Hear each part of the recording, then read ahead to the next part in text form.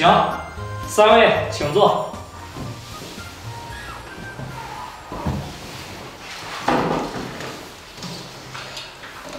看见又有三位来我们公司面试啊，我感觉特别的欣慰，说明什么？说明我们公司的号召力非常的强。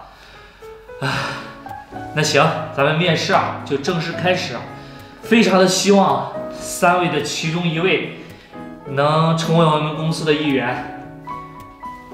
从这开始做一下自我介绍吧。你好，经理，我叫王浩，今年二十三岁，是大专毕业的，今天过来面试销售主管的。你呢？你好，我叫张翠娥，中专毕业，我来面试会计。经理你好，我叫刘大美，是研究生毕业，今年二十六岁，今天来应聘总经理助理。哦，行，三位的学历啊都蛮不错的，我相信你们的工作能力也非常的好。呃，那我们公司呢主要是做海上运务的，所以啊需要经常跟船还有呃船长打交道。其他的我就不问了。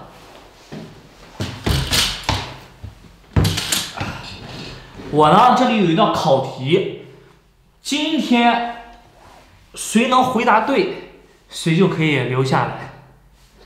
船上装一百二十头牛，八十匹马，请问船长有多少岁？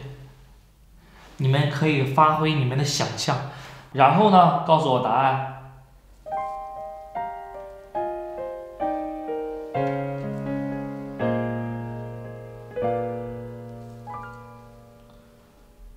那你先来吧。经理啊，我觉得这道题和我面试的职位没有什么关系啊。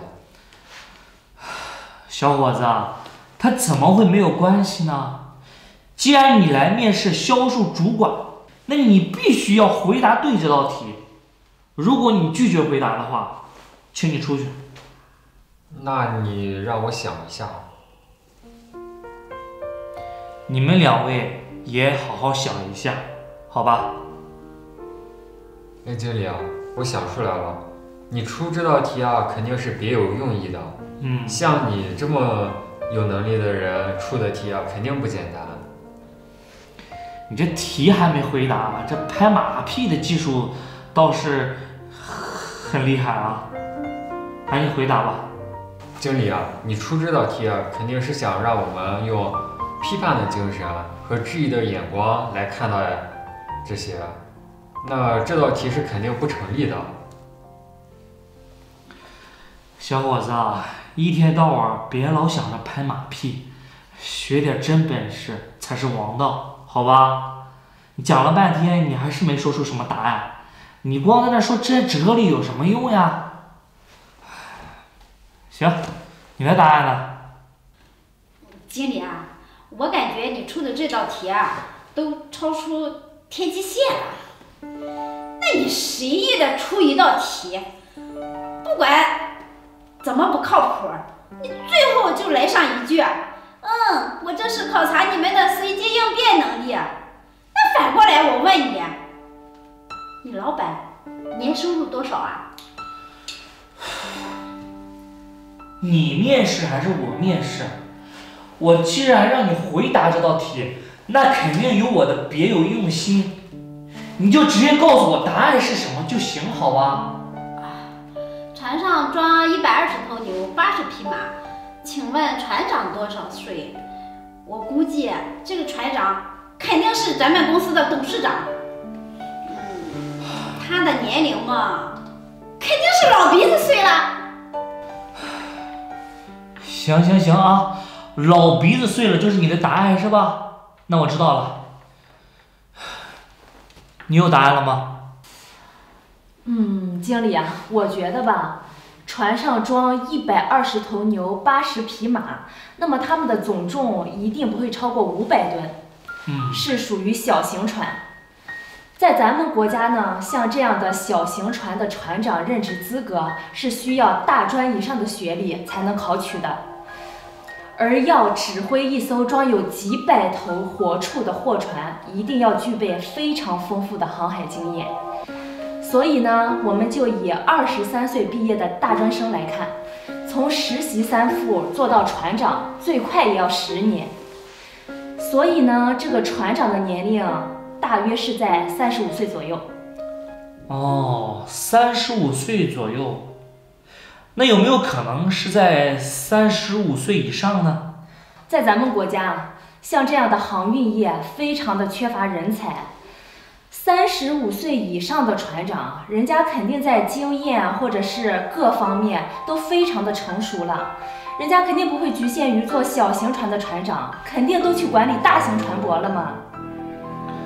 所以你的答案就是三十五岁左右。对，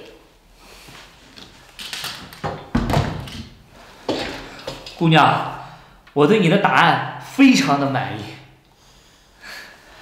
说实话，像这两位面试，他们对这道题可能嗤之以鼻，认为这是一道很幼稚的题，而你能通过这道题算出船长多少岁，说明你对我们公司足够的认真。说实话，在我们这边上班的船长，他的平均年龄还真的都是在三十五岁。当然了，我们公司主营的业务也就是这些，动物、畜牧之类的。你们两位对我们公司不够了解，说明你们不及格。我啊是想通过这道题来看一下一个人的思维发散能力。